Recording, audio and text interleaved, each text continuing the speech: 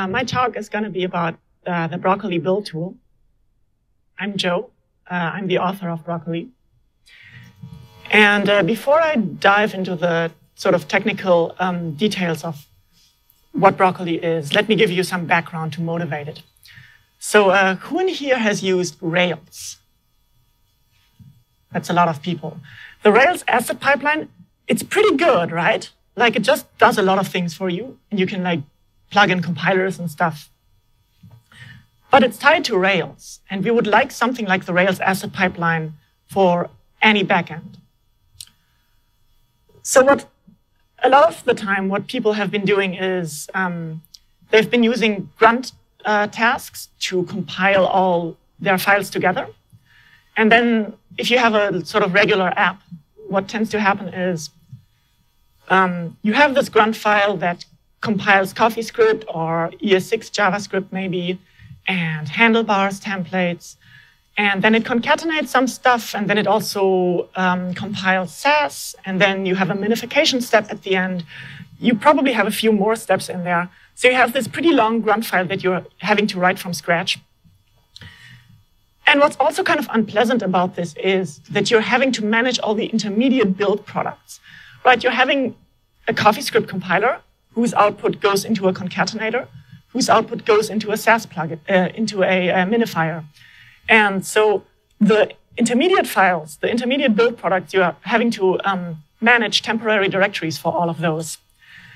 And so when you make grunt files, a lot of the time you end up kind of juggling all these pieces, um, trying to trying to fit, some, fit them together. And Another thing that happens is, so you want to like edit a file in the editor and then reload in the browser, right? Um, so you, you fire up GruntWatch, you edit a file, save, reload in the browser, it works. But you have a medium-sized team, like five people, and you work on your app for a few months, and your app grows and grows, and the rebuilds become slower. And so half a year later, what happens is you edit a file, you save, and then you wait for like 10 seconds while it's rebuilding. It's rebuilding, still rebuilding, and then you reload. And that's really, really painful, right? Like this experience of having something that is so core to your um, experience as a developer, this like edit, reload, edit, reload cycle, having that disrupted by this, these really slow rebuilds is a problem. Um, and so, so we want two things, right? We want chainable plugins and we want fast rebuilds. And that is, the, um, that is what Broccoli aims to solve. So let me uh, demo what writing a Broccoli build definition actually looks like. Um, I made a screen recording, so I don't have to type. So here we have a little sample app with a lib and a vendor directory, which contain the JavaScript and CoffeeScript files. And uh, we have a public directory with some static files and a styles directory with Sass in it. And so the Brocfile is going to contain our build definition. And I'm going to just derive it from scratch now. Um, there's some require calls at the top, but other than that, we're just going to write it now. Um, so we're going to start by exporting the public directory. So the, the central unit of data that Broccoli cares about is a directory. Broccoli calls it a tree, a tree of files, if you will. So if we do this and then we run broccoli serve, it's just going to serve all the files in the public directory. And if we run broccoli build dist, it's going to copy all the files in the public directory into the dist directory. So that's pretty unexciting, but let's add the files in the lib directory. So what we're going to do is call the merge trees plugin, um, which takes the lib directory and the public directory and copies them on top of each other. And then the resulting uh, directory containing the files of both of these directories is going to be what, what is returned by merge trees. Now that we're exporting that, um, we can access the files in the lib directory and the public directory. But we have CoffeeScript files in the lib directory, and we would like them to be compiled to JavaScript first. So what we're going to do is create a new variable called libcompile. And we're going to call the CoffeeScript filter on the lib, on the lib directory. And the CoffeeScript filter is going, going to take all the .coffee files and replace them with .js files. And what the filter CoffeeScript plugin returns is a new tree, a new directory, if you will. And we can just use that tree in place of lib. So in place of this string right here, we're going to use lib compiled, the result of the CoffeeScript compiler.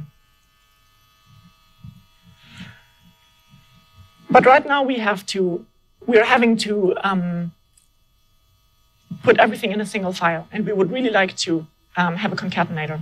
So we're going to create a new tree called app.js and concatenate the files in the libcompiled uh, tree. Just take all the JavaScript files and uh, output them into one big app.js blob.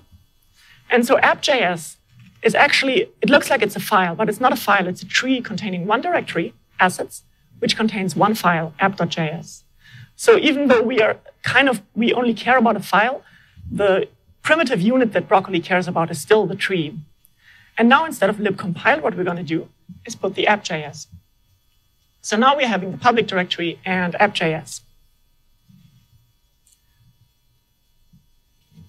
Uh, next, we're going to uh, add a jQuery. So jQuery lives in our vendor directory.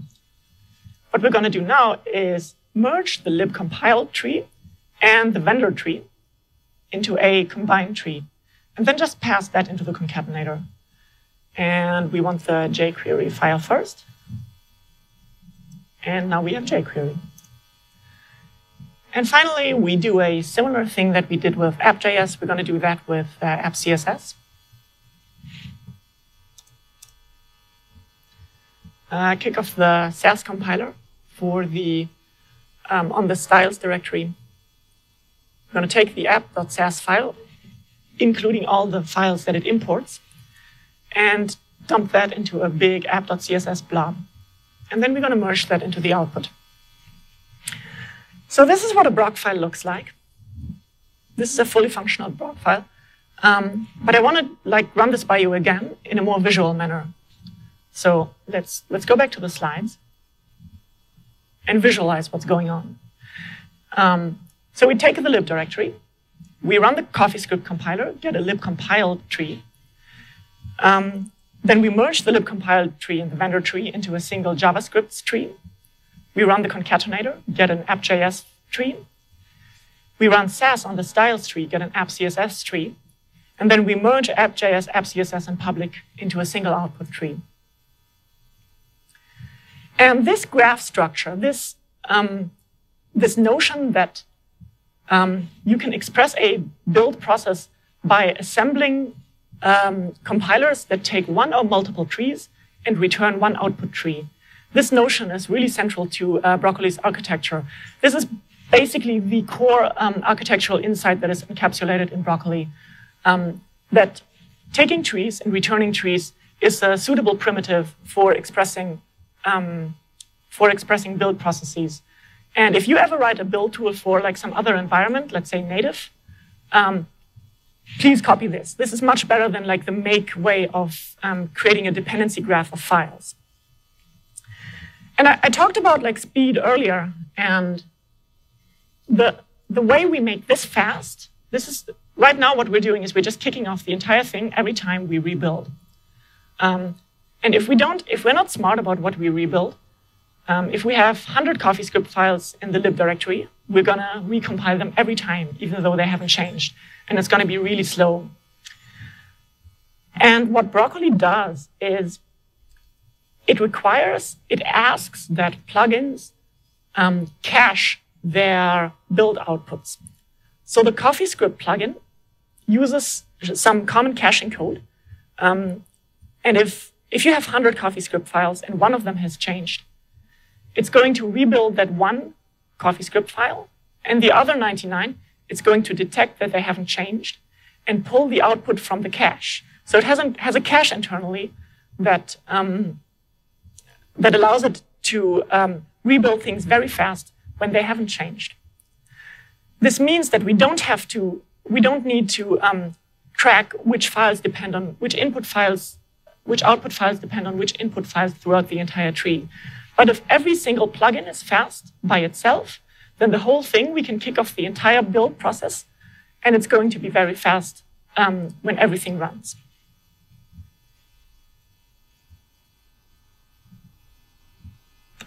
Um, so just as a warning, broccoli is still zero point. And I hope that it's going to be uh, 1.0 by the end of the year or early next year. Um, but in the meantime, there's still some uh, API refactorings coming up. So it's not completely stable yet. And there are some uh, performance regressions that, that, we've had that we uh, still have to fix. Uh, one insight that we got from Grunt was that um, when you make a tool like this, it's really smart to keep the API very, very small. Because every piece of API that you expose, uh, once it's out there um, for a build tool or for Grunt, for a task runner, you can never change it again because there's this entire ecosystem of plugins that depend on it. So uh, with Broccoli, we tried really hard to keep the API minimal and uh, push a lot of the complexity of like all this caching stuff all, that makes the performance happen, push all of that into external libraries that get used by the plugins so that Broccoli core actually doesn't know about, about a lot of things. Now I showed you how to make a broccoli, how to make a Brocfile, how to make your own build definition. But I really, ideally, I don't want, um, if you create a new app, it would be nice if you didn't have to deal with all of this, right? Even though it's architecturally neat, uh, it's not technically necessary that you have to think about all of this graph stuff. It would be nice if it just worked. And one of the insights that Ember got from Rails is that our apps are not so special. Like, if we just have a lot of shared code in the framework, we don't have to um, we don't have to reinvent a build process ourselves every time. And I think that's a really crucial insight. And, and what Rails is doing is really great. You do Rails new my app, and you just get all of this stuff generated for you, wired up. You do not have to write a build definition or anything. And that's how, really how I want Broccoli to be used. Um, the same way like the Rails asset pipeline, you, do, you never directly interact with it. It just works. And um, that's kind of how I, how I want Broccoli to be used as well, just as a library inside of a bigger tool. Um, just to clarify one thing, because I was um, talking about Grunt earlier, I don't think Grunt is a bad tool. Um, it's just a task runner. It's not a build tool. So um, I think you should be using a dedicated build tool like Broccoli for your um, core build pipeline. But something like Grunt is still very useful to kick off tests or to generate things, uh, to deploy, etc. Um, so we have a Grunt Broccoli uh, plugin that uh, plugs the Broccoli build tool into the Grunt task runner. But I think what all of you are really excited about is Ember CLI. Um, and much of the credit for Ember CLI goes to uh, Stefan Penner and uh, Robert Jackson, who have been doing a lot of work on it. And um, this is the primary user of Broccoli right now, Ember CLI. Uh, it's, it uses uh, Broccoli as its build pipeline. And I want to demo to you what you can do with uh, Ember CLI. So Ember CLI is kind of like Rails. We do Ember new Ember Fest app. And it generates a new app for us. Networking happens. There we go, installing, installing, installing. Okay, so we CD into the new app that we generated. And we have all of this scaffolding generated for us already. Kind of like when you generate a new Rails app. And now we can start up the server and drop into the browser, and there's our Ember app running. And now let's let's generate some stuff. Ember builds, um, Ember brings some generators. So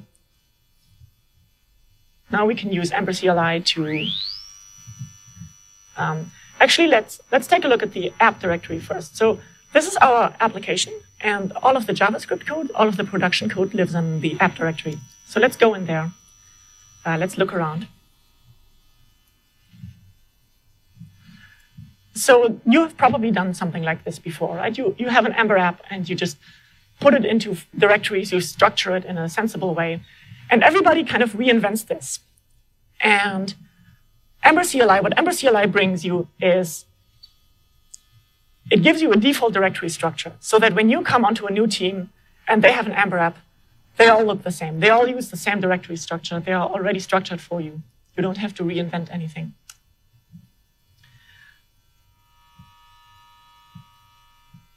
So let's edit one of the templates. Okay, and it live reloads immediately in the browser. So let's use one of the generators here, um, just to show this off. Like, Ember brings so many generators. This is awesome. You can just like generate a new model. You don't have to figure out from the documentation how to do it. Just have it generated for you. It comes out correctly, and you can start filling in your stuff. So I think this is really going to help make the learning, cur learning curve for Ember a lot easier um, just being able to generate all these parts for your application. So for demo purposes, we're just going to generate a route. Um, let's add a navigation bar to the top. Um,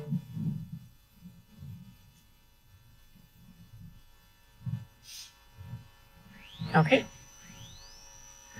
So we have these two routes, but they just don't contain anything yet. So let's edit the foo route. Let's put something in there and switch to the browser. And now we can switch back and forth and it's working. So this is just to show off the generators. Um, it generated route definitions for us. You don't have to figure out how to use the router. It just generates it for you. Um, but something that's also really cool that I want to show off is um, now that we have a now that we have a standardized build pipeline, we can exploit that fact to um, have tools running on top of it that deploy it to platforms.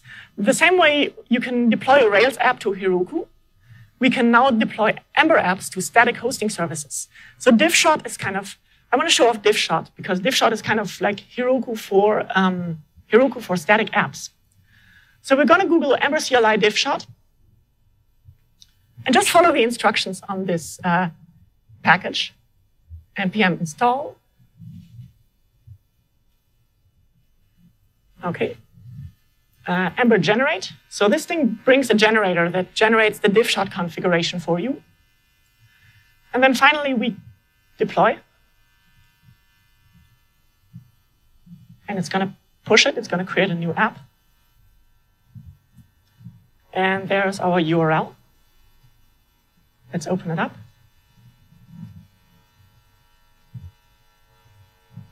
And it works. We have a running, a working Ember app on the internet.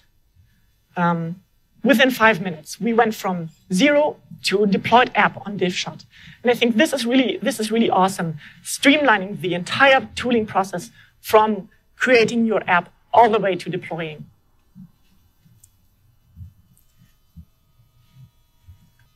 So I'm really, I'm really excited about Ember CLI.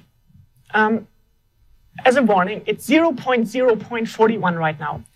So it's very much alpha. There are pieces in it that are still going to change. Um, but if you are creating a new uh, app right now, I would encourage you to give it a try and see if it works for you. So one thing that we're trying to achieve with this um, is also making it easier to share code.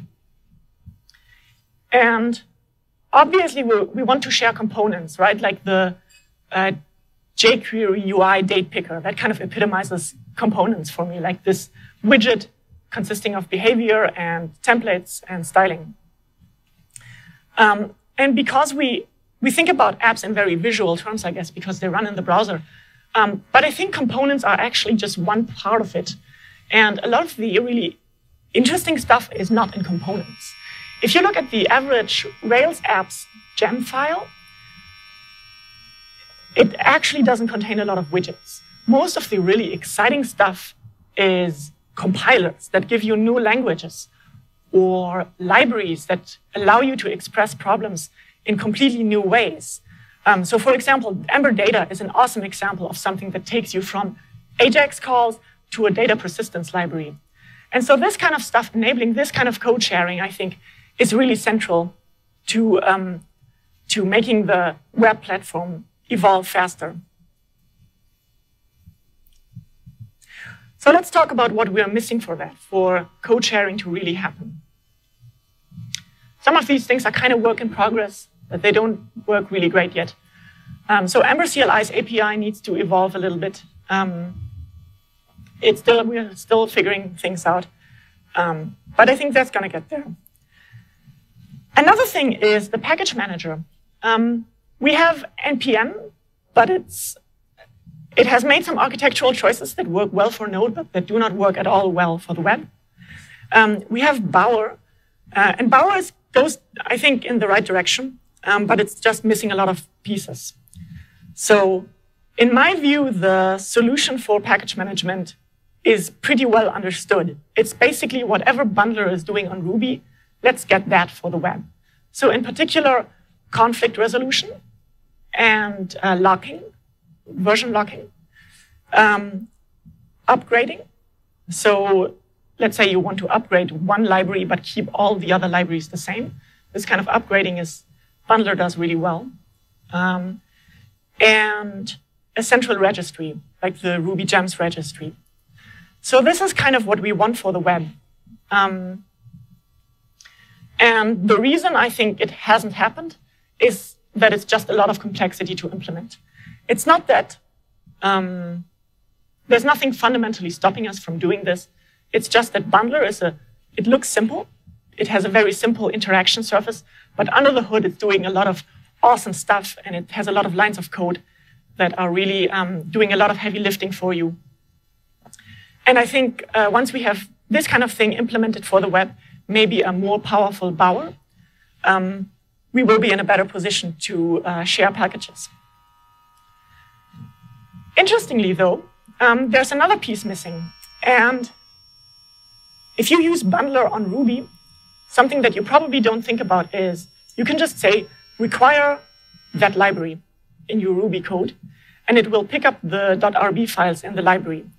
And that's because when you um, have a Ruby gem installed in your app, Bundler will automatically add those Ruby gems to your load path. And so your require calls will search in the load paths of all the gems that you have included. And uh, they will, you can now include the, you can now require the, the files that those gems supply. But JavaScript doesn't come with a require call. It does not have a native notion of uh, inter-module dependencies.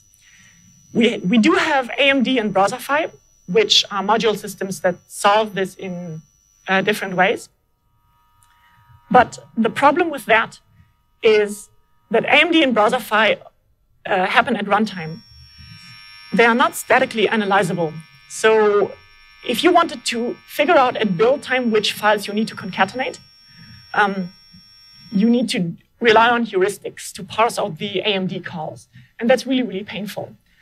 And so that's why I'm really excited about the upcoming uh, ES6 modules they are in draft right now. They might still change a little bit, but we have a we have an existing uh, transpiler, and the um, default app, the app that's generated by Ember CLI, uses ES6 modules already. So the syntax is like import Ember from Ember, or import view from Ember slash views. Um, and this syntax is uh, statically parsable. So a tool like uh, Ember CLI, like Broccoli, can uh, walk your JavaScript files at build time, figure out which files belong to, to your app and which files don't need to be included, and concatenate them into one big blob that you can ship out over the network without extra round trips.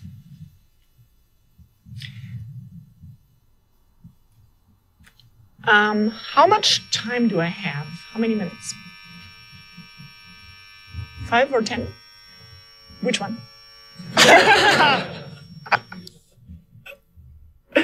um, All right, so so let me go on a tangent real quick, um, because I think something is something is kind of missing um, in the way we do open source right now. So some of these are pretty well understood problems, like the package manager. Like we've been waiting for a package manager for years, and it's still like it's coming along very slowly. And so the web platform is this huge thing, right? It's like hundreds of billions of dollars are riding on the web platform. But some stuff that is really central to the web, like the Ember ecosystem, um, a lot of that is being done right now by um, just a handful of people working after hours. So the, the time that we're spending as a community on these tools is really, really low compared to the um, size of the platform. And I think it's much lower than um, what, let's say, Apple or Google are spending on iOS or Android. So when I when I wrote Broccoli, I took a few months off. Um, I run a business, um, but I thought it was important to solve this problem, and I also thought it would make me a better developer, and I hope that it has. Um, but the productivity increases that Broccoli brings by giving me faster builds, they don't really make a huge difference for me. But if I was on a team with 100 people, it would very easily make a difference. Like just one person writing a build tool, if the, if the other 99 get a 1% productivity increase from that, that pays off for itself very quickly. So it seems to me that um, on a lot of larger teams, um, there's not really a lot of time spent innovating on the tooling like Broccoli, like Ember CLI, like Ember. Um, and most of the time is spent on the app that the business is doing. And that is really strange, right? Like, what people, and, and what I see people doing is they have these they take these tools that we have, these open source tools, as kind of God-given um, tools that they cannot change and they cannot evolve and they cannot add their own. But then they um, add their, their own hacks on top of these tools to make them work. So they have like these ludicrously complex build processes and like this infrastructure that they spend a lot of time maintaining, um, these hacks that just to make all of this stuff work for them.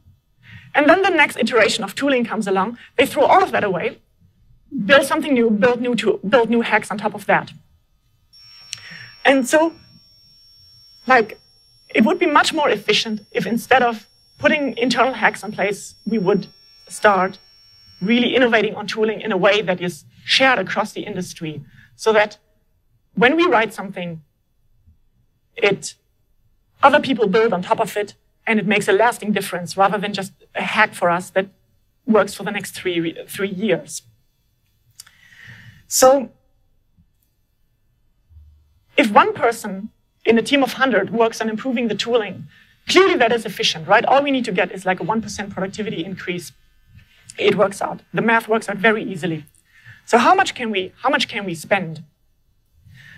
My hypothesis would be that we want to spend on the order of 50% on tooling. So if you have a team with 20 people, you probably want 10 people working on tooling, working on making the other 10 more productive, and 10 people actually creating the app for your business. And I, I would hypothesize that that quite easily pays off um, in the long run over a few years. Like if we can afford to take a to take a, a view beyond like the next round, the next acquisition, um, the next quarter, and think about like where we're going to be in five years, that would very easily be efficient. And in fact, if you have a if you have a um, team of 10 people and half of them produce open source nine through five, like full time, you would start being very visible in the web space. And if you have a team of 100 people and 50 of them produce open source, you would dominate the web like you would you would be like the primary creator of open source in the web space right there. So I know a lot of you are CEOs or CTOs or um, your company considers you important enough to send you to a conference. So um, this sounds great in theory, right? But if we if we want to do this in practice, I think if you if you wanted to kind of implement this in your company, in your business, and make more open source work happen, I think what that kind of requires is a in that moment where you write open source, you're not working on the product. You're not working on something that will directly make money. And that is kind of hard. Like I was I was stepping away from a profitable business to work on broccoli. And I could have shipped features, but I instead I chose to work on open source. And so it kind of requires having a bit of discipline to, to refrain from, from shipping, to not ship, and to work on something long term.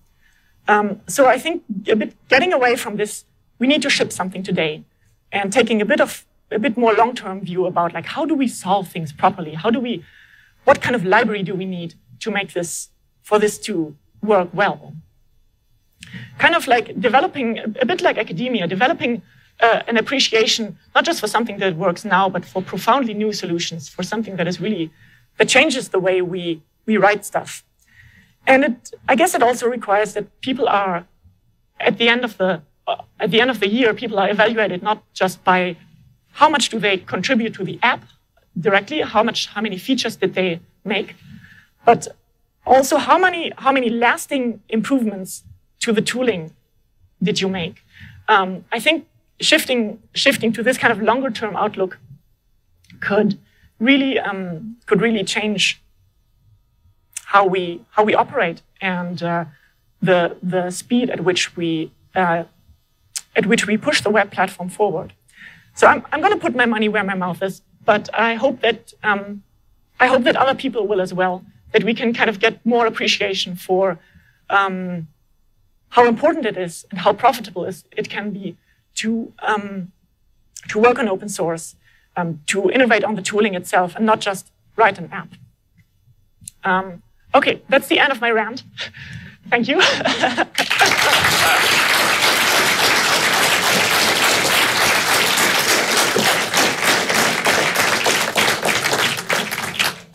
and if we have, do we have time for questions? Or should we wrap up? Yeah, okay. Um, so I'm not, I'm actually, I have all of two commits in Ember CLI. I know you're all excited about Ember CLI, but I'm not the expert on it. So if you have questions, maybe on broccoli or something. Yes. A cache, yes. Yeah. Uh, yeah, everything is, in general, stuff, the cache is sometimes in memory, sometimes on disk. Um, it always gets blown away between restarts.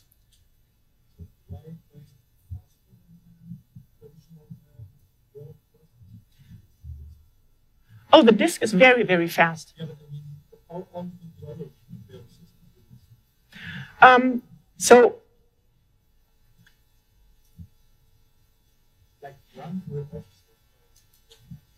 yeah, so I didn't get into this in detail, um, but something that Grunt does, I guess this is what you're referring to, is you have like 100 output files and you just leave them there, and then you rebuild on top of that. Is that what you mean? So if you do that, um, broccoli starts with a clean slate every time. It just wipes everything clean and um, then rebuilds the entire thing from scratch.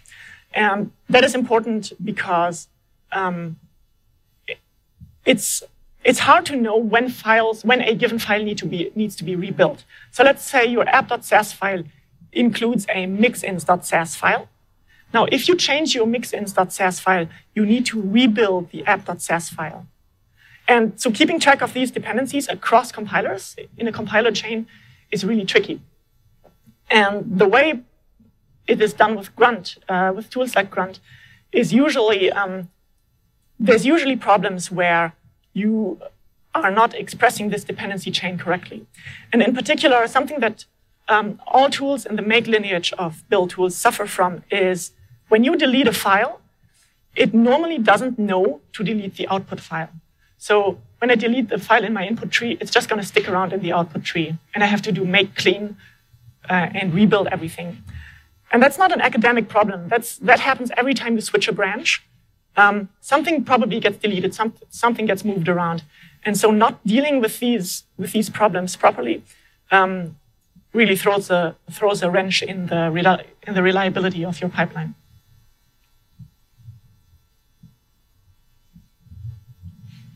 Yes.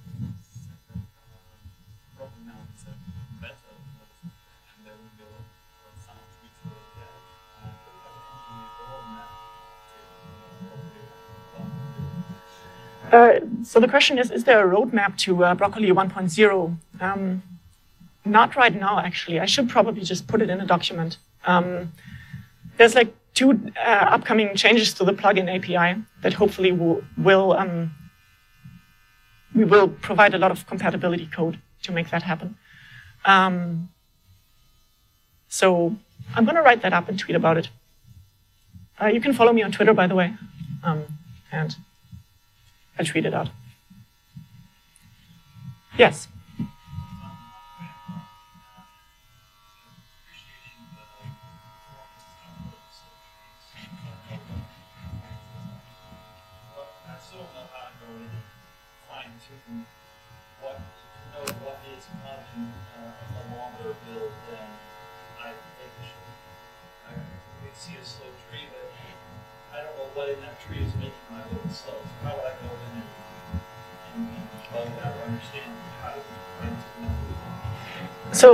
Question is, if you broccoli shows which um, trees take the most amount of time, which plugin eat up the most amount of time, how do you debug it? Um, I think you probably need to know the plugin code. You need to pop open the, the source code um, and look at that actually. Um, there's no kind of easy way. In, in the future, at the moment, we're having a bit of a performance regression, um, but that's going to be fixed in a, in a few weeks hopefully sooner. Um, but by then, I hope that most trees will be extremely fast, like 10 milliseconds or less. And there's going to be like maybe one tree or two trees that are slow. And if there's one tree that persistently shows up that is slow, even though you haven't changed any of the files, then you know that you can just send off a bug report and say, hey, please fix this. Your tree is, your plugin is taking up a lot of time in the build process, even though it should just be instantaneous.